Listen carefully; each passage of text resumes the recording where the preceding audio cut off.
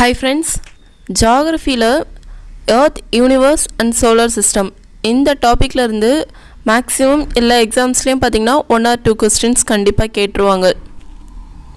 இதிலருந்து இப்போ நம்ம டிஎன்பிஎஸ்சில் கேட்கப்பட்ட ப்ரீவியஸர் கொஸ்டின்ஸ் அனலைசிஸ் தான் பார்க்க போகிறோம் சம்டைம்ஸ் இதே கொஸ்டின்ஸ் ரிப்பீட் ஆகுது அண்ட் சம்டைம்ஸ் நம்ம இதிலருந்து அந்த கொஸ்டின் அண்ட் ஆன்சர் தவிர்த்து எக்ஸ்ட்ரா இன்ஃபர்மேஷன் பார்க்குறோம். அதிலிருந்தும் கொஸ்டின்ஸ் வரலாம்.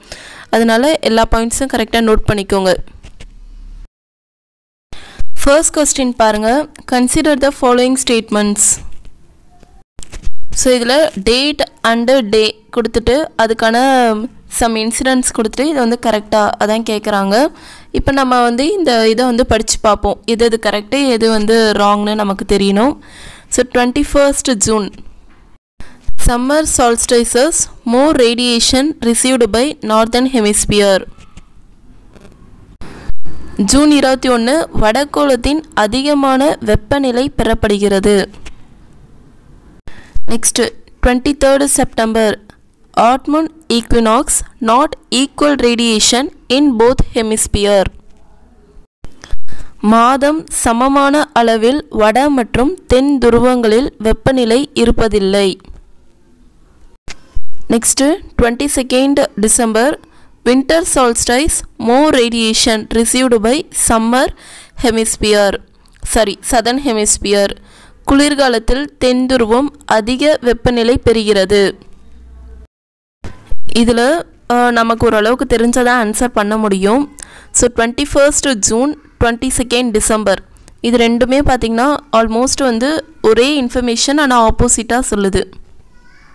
அங்கே சம்மர் சால்ஸ்டாய்ஸ் நார்த்தன் ஹெமிஸ்பியர் இங்கே வின்டர் சால்ஸ்டாய்ஸ் சதன் ஹெமிஸ்பியர் அதாவது அங்கே வடக்கோடம் அதிக வெப்பநிலை இருக்குது இங்கே குளிர்காலம் தென் துருவம் இதான் சொல்கிறாங்க இதுதான் இப்படி தான் பாருங்கள் இங்கே ஜனவரிலேருந்து ஸ்டார்ட் ஆகி ஆன்டி கிளாக் வைஸில் போகுது.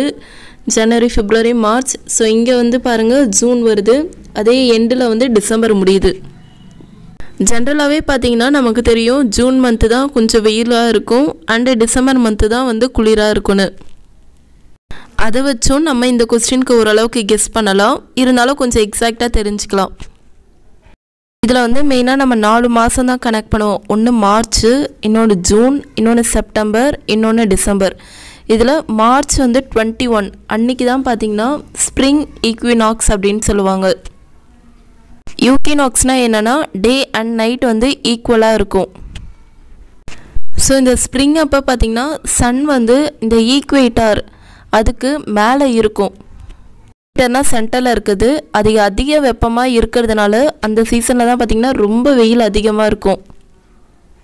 ஆனால் அந்த ஸ்பெசிஃபிக் டேட்டில் மார்ச் டுவெண்ட்டி ஒனில் ஈக்குவல் டே அண்ட் நைட் இருக்குது நெக்ஸ்ட்டு ஒன் பாருங்கள் சம்மர் சால்ஸ்டைஸ் சம்மர் சால்ஸ்டைஸ்னால் என்னென்னா சன் வந்து ட்ராபிக் ஆஃப் கேன்சருக்கு மேலே இருக்கும். ஸோ அப்பயும் வந்து வெயில் அதிகமாக தான் இருக்குது இது வந்து June twenty one next one autumn equinox அப்போ பார்த்திங்கன்னா கொஞ்சம் அந்த ஈக்வேட்டர்லேருந்து விலகி இருக்கும். ஆனால் இந்த ஸ்பெசிஃபிக் டேட்டில் செப்டம்பர் டுவெண்ட்டி த்ரீல ஈக்குவல் டே அண்ட் நைட் இருக்குது next one winter solstice so இங்கே பார்த்தீங்கன்னா சன் வந்து இந்த ட்ராபிக் ஆஃப் கேப்ரிகான் கிட்டே இருக்கும். அப்போயும் வந்து கூலிங்காக தான் இருக்கும். அது வந்து டிசம்பர் டுவெண்ட்டி டூ இந்த பிக்சர் நீங்கள் ஞாபகம் வச்சிட்டிங்கன்னா எப்படி கேட்டாலும் உங்களால் ஆன்சர் பண்ண முடியும். இதில் டேட்னு பார்த்தீங்கன்னா twenty one twenty two twenty three தான் இருக்குது மந்த்னு பார்த்தீங்கன்னா March June September and December மட்டும் இருக்குது ஸோ இந்த ஆர்டர் ஞாபகம் வச்சுக்கோங்க. மேலேருந்து மார்ச் ஜூன் கீழே செப்டம்பர் அப்புறம் இந்த சைடு வந்து டிசம்பர் இப்படி தான் வந்து முடியுது. இதில் twenty one twenty one twenty three twenty two இப்படி தான் டேட் வருது. இதை வந்து கரெக்டாக பார்த்துக்கோங்க. இப்போ இதில் எது தான் கரெக்டான ஸ்டேட்மெண்ட் பார்ப்போம். Twenty first June summer solstice more radiation received by northern hemisphere correct ஏன்னா வந்து நம்ம இந்த ஜூன் மந்தில் தான் பார்த்திங்கன்னா ட்ராபிக் ஆஃப் கேன்சர் கிட்ட இருக்கும்னு சொன்னால் ட்ராபிக் ஆஃப் கேன்சர்னால் நார்தன் சைடு தான் இருக்குது இதே ட்ராபிக் ஆஃப் கேப்ரிகான்னா சதர்ன் சைடு இருக்குது ஸோ ஜூன் மந்தில் தான் பார்த்தீங்கன்னா மார்ச் ஜூன் மார்ச்சில் ஈக்குவேட்டர்லேருந்து ஜூனில் வந்து ட்ராபிக் ஆஃப் கேன்சர் கிட்ட போயிடுது. அதனால் டுவெண்ட்டி ஃபர்ஸ்ட் ஜூன் பார்த்திங்கன்னா சம்மர் ஸ்டால்ஸ்டாய்ஸ் மோர் ரேடியேஷன் இருக்குது நார்தன் ஹெமிஸ்பியர் வடகோளத்தின் அதிகமான வெப்பநிலை பெறப்படுகிறது. இது வந்து கரெக்ட் தான். நெக்ஸ்ட்டு டுவெண்ட்டி தேர்டு செப்டம்பர் பாருங்கள் autumn equinox not equal radiation in both hemisphere so equinox அப்படின்னு பார்த்தாலே அங்கே வந்து டே அண்ட் நைட் வந்து சேமாக தான் இருக்கும். டே அண்ட் நைட் சேமாக இருக்குன்னா அதுக்கு பின்னாடியே அந்த ரேடியேஷன் ரொம்ப ரொம்ப முக்கியமான ரீசன் ஸோ அதுவும் சேமாக இருந்தால் தான் டே அண்ட் நைட் வந்து சேமாக இருக்கும். அதனால் டுவெண்ட்டி தேர்டு செப்டம்பரில் வந்து நாட் ஈக்குவல் ரேடியேஷன் சொல்லியிருக்கேன் அதனால் இந்த ஆப்ஷன் வந்து wrong next one twenty second December இது நம்ம ஆல்ரெடி பார்த்தோம். Winter solstice more radiation southern hemisphere அதாவது டிராபிக் ஆஃப் கேப்ரிகானில் இருக்கும். குளிர்காலத்தில் தென் துருவம் அதிக வெப்பநிலை பெறுகிறது. இது வந்து கரெக்ட் ஸோ ஆன்சர் பார்த்திங்கன்னா ஒன் அண்ட் த்ரீ மட்டும் தான் கரெக்ட் செகண்டில் ஈக்குவல் ரேடியேஷன் சப்போஸ் கொடுத்துருந்தாங்கன்னா அதுவும் கரெக்டாக இருந்திருக்கும். ஆனால் நாட் ஈக்குவல் ரேடியேஷன் கொடுத்துருக்காங்க. அதனால் அது கரெக்டு கிடையாது. ஸோ இந்த ஆர்டரில் நம்ம அந்த பிக்சரில் பார்த்த மாதிரி அந்த ஆர்டரில் ஞாபகம் வச்சுக்கோங்க. எப்படி கொடுத்தாலும் உங்களால் ஆன்சர் பண்ண முடியும். Next one if the diameter of the earth becomes two times its present value and its mass remains unchanged, then how would the weight of an object on the surface of the earth be affected? பூமியின் விட்டம் இரு மடங்கு அதிகரிக்கும் போது அதன் பொருண்மை மாறாமல் இருக்கிறது எனில் பூமியின் மேற்பரப்பில் உள்ள பொருளின் எடை எவ்வாறு வேறுபடுகிறது இதை நான் இப்போ சால்வ் பண்ணி காட்டுறேன் ஸோ ஜென்ரலாக பார்த்தீங்கன்னா எப்போவுமே வெயிட்டும் மாஸும் டைரக்ட்லி ப்ரப்போர்ஷனலாக இருக்கும். அதே வெயிட்டும் ரேடியஸும் அதாவது ஸ்கொயர் ஆஃப் த ரேடியஸும் இன்டைரக்ட்லி ப்ரப்போர்ஷனலாக இருக்கும். ஸோ நான் அதை பேஸ் பண்ணி தான் இந்த ஃபார்முலா எழுதினேன். Weight equal to mass by radius the whole square இப்போ நமக்கு என்ன கண்டிஷன் கொடுத்துருக்காங்கன்னா டயாமீட்டர் கொடுத்துருக்காங்க. இதுதான் வந்து ரெண்டு மடங்கு ஆகுது. ஆனால் மாஸ் வந்து சேமாகவே தான் இருக்குது அப்போ வெயிட் என்ன தான் கேட்குறாங்க ஸோ டயாமீட்டர் வந்து டுவெல் தௌசண்ட் செவன் ஃபார்ட்டி டூனா ரேடியஸ் வந்து six thousand three seventy one mass வந்து five point five one eight கொடுத்துருக்காங்க. ஸோ டயாமீட்டர் ஒன் தான் வந்து டயாமீட்டர் டூவை ரெண்டு மடங்காகுது. அப்போ டயாமீட்டர் வந்து டுவெல் தௌசண்ட் செவன் ஃபார்ட்டி டூனா ரேடியஸ் வந்து six thousand three seventy one so ரேடியஸும் கண்டிப்பாக டயாமீட்டர் மாதிரி ரெண்டு மடங்கு ஆகிற மாதிரி ரேடியஸும் ரெண்டு மடங்காகும். நல்லா ஞாபகம் வச்சுக்கோங்க. ஒரு விஷயம் வந்து ஒரு ஸ்டேஜில் இப்படி இருக்கிறத விட்டுட்டு இன்னும் ரெண்டு மடங்கு ஆகுது மூணு மடங்கு ஆகுது அப்படி தான் கொடுத்து நமக்கு வந்து கொஸ்டின் கேட்டாங்கன்னா நம்ம வந்து அந்த நேரத்தில் ரேஷியோ தான் கண்டுபிடிக்கணும். ஸோ அதே மாதிரி தான் இங்கே mass by radius one the whole square is to mass by radius two the whole square so mass வந்து சேமாக இருக்கிறதுனால கேன்சல் ஆகிடும் இதில் வந்து இதை வந்து கீழேருந்து மேலே அதாவது ஆர் டூ ஸ்கொயர் ரேடியஸ் தான் வந்து ஆர்னு எழுதியிருக்கோம். R two square is to R one ஸ்கொயர்னு எழுதலாம். So twelve thousand seven forty டூவை நீங்கள் ஸ்கொயர் பண்ணி பாருங்கள் சிக்ஸ் தௌசண்ட் த்ரீ செவன்ட்டி ஒன்னையும் ஸ்கொயர் பண்ணி பார்த்தா இது ரெண்டுத்தையும் கேன்சல் பண்ணால் ஃபோர் இஸ் டூ ஒன் வரும். இதை வந்து one is to one by ஃபோர்னு எழுதலாம். இந்த ஃபார்முலா நல்லா ஞாபகம் வச்சுக்கோங்க. சப்போஸ் இந்த மாதிரி சம்ஸ் கொடுத்தாங்க இல்லை ஏதாவது கண்டிஷன்ஸ் கொடுத்தாலும் உங்களால் வந்து ஈஸியாக சால்வ் பண்ண முடியும். இதுக்கான ஆன்சர் என்னென்னா பிகம்ஸ் ஒன் ஃபோர்த்து ஸோ ஜென்ரலாக இதை வந்து நம்ம அப்ளை பண்ணி பார்ப்போம். இப்போ நம்ம ஏர்த் இருக்கிறத விட ரெண்டு மடங்கு ஆச்சுன்னா அதோட வெயிட்டு பார்த்திங்கன்னா இருக்கிறதுலே வந்து நாலு மடங்கு வந்து குறையுது. ஏற்கனவே ஒரு இருபது கிலோ தான் வெயிட் இருந்துச்சுன்னா ஸோ அதில் வந்து பார்த்திங்கன்னா ஒன் பை ஃபோர்த் ஆச்சுன்னா டுவெண்ட்டி பை ஃபோர் வந்து ஃபைவ் கிலோவாக தான் மாறுது. ஜஸ்ட்டு வந்து ஒரு அண்டர்ஸ்டாண்டிங்காக தான். ஸோ மாஸ் வந்து நான் ஃபைவ் பாயிண்ட் நைன் கிட்ட கொடுத்துருக்கேன். இதுதான் பார்த்தீங்கன்னா ஏர்த்தோட real mass five point nine into ten power twenty four kilogram so இங்கே வந்து மாஸ் ரிமைன்ஸ் அன்எஃபெக்ட் அன்சேஞ்சு சொல்லியிருக்காங்க. அதனால் நம்ம மாஸ் வேல்யூ எதுவுமே அசியூம் பண்ண தேவையில்ல. இருந்தாலும் ஜென்ரலாக தெரிஞ்சுக்கோங்க ஏர்த்தோட mass எவ்வளோன்னா five point nine into ten power twenty four kilogram radius of earth எவ்வளோனா six thousand four hundred kilometer நீங்கள் இந்த ரியல் வேல்யூ இல்லாமல் அதாவது ரேடியஸ்னால் six thousand four hundred மாஸ்னால் five point nine into ten power twenty four kilogram அதுதான் இல்லாமல் ஜென்ரலாக நீங்கள் ஒரு நம்பர் அசியூம் பண்ணி கூட இதை வந்து கண்டுபிடிக்கலாம். பட் இதோட ரியல் வேல்யூ இதுதான். Next one which of the following objects do not belong the solar system சூரிய குடும்பத்தை சாராத பொருள் எது? பாருங்கள் காமெட்ஸ் வால்மீன்கள் இதை பற்றி நம்ம படிச்சிருக்கோம். ஆஸ்டிராய்ட்ஸ் சிறுகோள்கள் இதை பற்றியும் நம்ம படிச்சிருக்கோம். அண்ட் பிளானட்ஸ் கோள்கள். இதை பற்றியும் நம்ம படிச்சிருக்கோம். நெபுலேன்றது என்னன்னா இது வந்து ஒரு தியரி மாதிரி. அதாவது சோலார் சிஸ்டம் இப்படி தான் உருவாச்சு.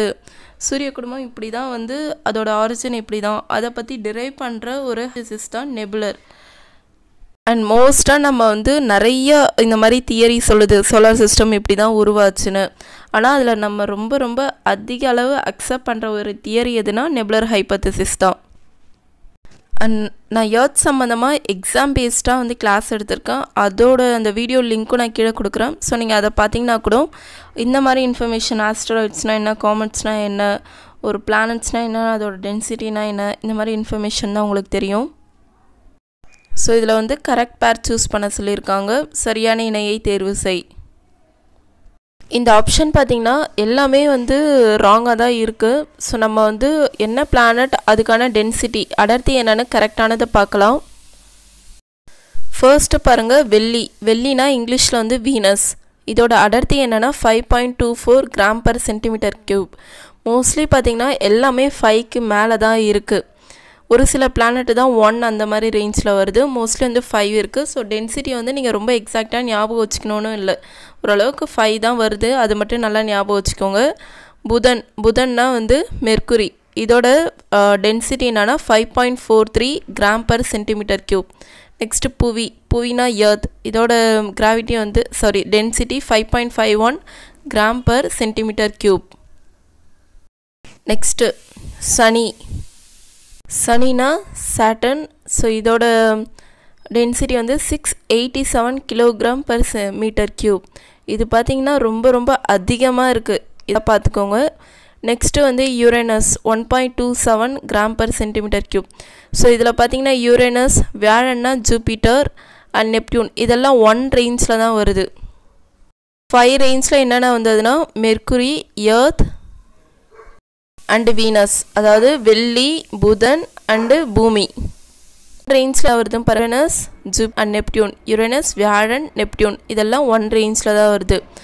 செவ்வாய் பார்த்தீங்கன்னா three point nine three gram per centimetre cube செவ்வாய்னா Mars பார்த்தீங்கன்னா அதாவது சனி வந்து மீட்டர் க்யூப்பில் தான் கொடுத்துருக்காங்க. Kilogram per metre cube maybe இதை வந்து கிராம் பர் சென்டிமீட்டர் க்யூபாக மாற்றினா கம்மியாக தான் வரும். பட் இருக்கிறதுலே ரொம்ப ரொம்ப அடர்த்தியான பிளானட் அதாவது டென்சஸ்ட் பிளானட் எதுன்னு பார்த்தீங்கன்னா ஏர்த்து தான்.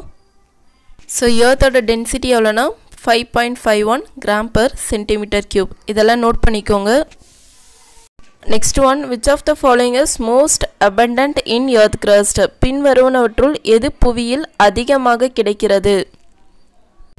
ஸோ எது வந்து அதிகமாக இருக்குன்னு பார்த்தீங்கன்னா எர்த் கிரஸ்ட்லிக்கும் தான் அதிகமாக இருக்குது எர்த்தோட சென்டரில் இருக்கிறது நம்ம கோர்ஸ்லும் அதுக்கு மேலே உள்ள லேயர் தான் மேண்டில் அதுக்கு மேலே இருக்கிறது தான் க்ரஸ்ட்டு ஸோ இந்த க்ரஸ்ட்டில் பார்த்திங்கன்னா அதிகமாக இருக்கிற எலமெண்ட் என்னென்னா சிலிக்காவும் அலுமினியம் தான். ஸோ இதிலே வந்து எது ரொம்ப அதிகமாக இருக்குன்னா சிலிக்கா தான் அதிகமாக இருக்குது இதே வந்து நடு லேயர் மேண்டில் இதில் வந்து அதிகமாக வந்து சிலிக்கா அண்ட் மேங் மெக்னீஷியம் அதிகமாக இருக்குது இதை வந்து சிமா லேயர் சொல்லுவாங்க. அண்ட் கோரில் பார்த்தீங்கன்னா நிக்கல் அண்ட் அயன் அதாவது நைஃப் கூட ஞாபகம் வச்சுக்கலாம். நிக்கல் அண்ட் அயன் தான் அதிகமாக இருக்குது ஸோ ஸ்டார்டிங் பார்த்தீங்கன்னா க்ரஸ்ட்டில் வந்து சியால் மேண்டலில் வந்து சிமா அண்டு கோரில் வந்து நைஃபு ஏன் வந்து நைஃப் சொல்கிறேன்னா எஃப்இனா அயன் சிம்பிள் மென்ஷன் ஆகும் என்ஐனா நிக்கல் அதான் NiFe next one which one of the following is a direct source of information about the interior of the earth பின்வருவனவற்றுள் புவியின் உள்ளமைப்பு பற்றிய தகவல்களை அறிய உதவும் நேரடி ஆதாரம் எது?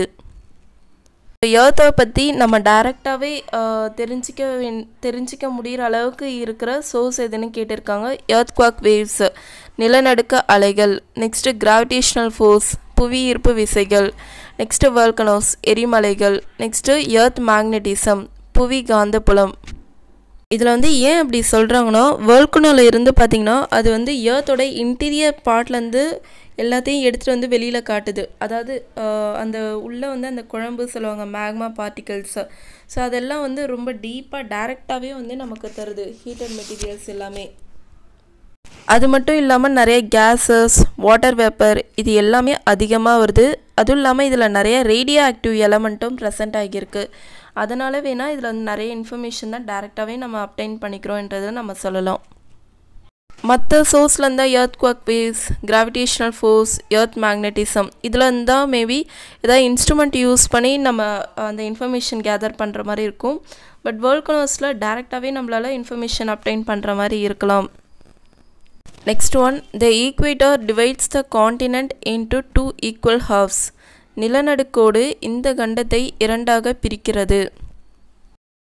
இதை நான் வேர்ல்டு மேப் எடுத்து பார்த்தேன். இதில் ஈக்குவேட்டர் பிரிகிற இடத்துல எந்த காண்டினென்ட் இருக்குது அதாவது எந்த கண்ட்ரி மெயினாக இருக்குன்னு பார்த்தோம் ஸோ ஆஃப்ரிக்கன் கண்ட்ரிஸ் தான் வந்து இங்கே வந்து பிரியுது. அதனால தான் வேணாம்